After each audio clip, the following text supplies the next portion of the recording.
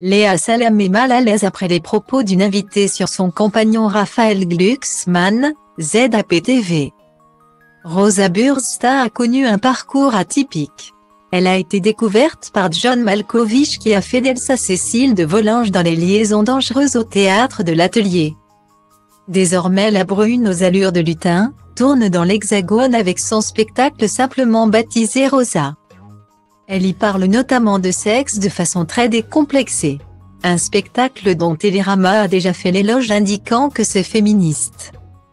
Cru et malicieux.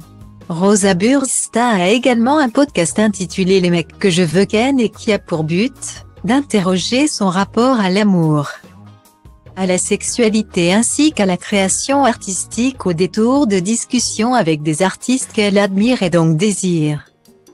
De quoi séduire Léa Salamé qui a donc invité la jolie brune dans son talk du samedi soir quelle époque. Mais petit moment de malaise lorsque Christophe de Chavannes a voulu envoyer l'hôtesse des lieux en coulisses. Vous voulez pas aller faire pipi Léa? A-t-il demandé à l'animatrice avant de diffuser quelques pastilles de Rosa à un brin gênante? Dans un extrait dévoilé de son spectacle tourné en Belgique et lors de son passage chez Quotidien face à Yann Barthé.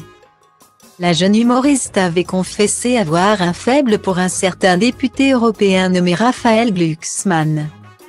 Et de révéler sa donnée à des plaisirs solitaires en songeant au séduisant politique et regretter que ce dernier ait refusé de passer dans son podcast. De quoi laisser un brin circonspect la compagne du dit Raphaël Glucksmann, Léa Salamé. Qui est toutefois parvenue à garder le sourire. Vous voulez que je fasse passer un message peut-être? A-t-elle demandé à Rosa Bursta qui a tenté de noyer le poisson. J'ai un nouveau message, c'est vous Léa que je veux dans le podcast ou tous les deux. Le Power Couple. Ah, vous voulez me ken a taquiné Léa Salamé. Vous êtes bi. A demandé Christophe de Chavannes, tout en finesse. J'aime les gens intelligents c'est au-delà de l'aspect physique.